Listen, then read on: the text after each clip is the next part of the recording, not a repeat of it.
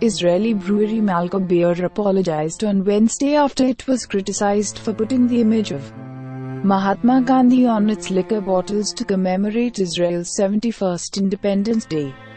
We offer heartfelt apologies to the people and the government of India for hurting their sentiments, the company said. It added that the production and supply of the bottles have been stopped. Subscribe to the channel for more news.